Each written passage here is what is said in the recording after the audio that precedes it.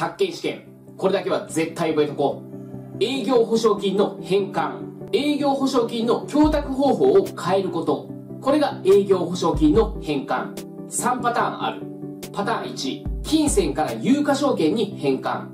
1000万円の現金と額面1000万円の国際証券は評価額がどちらも1000万円。なので、現金1000万円を額面1000万円の国際証券に返還することは可能。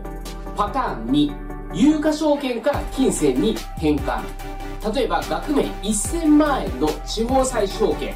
これは評価額が900万円。なので額面1000万円の地方債証券を現金900万円に返還することは可能。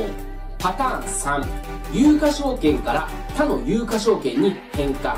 地方債証券と政府保証債証券は評価額が額面の90%で同じ。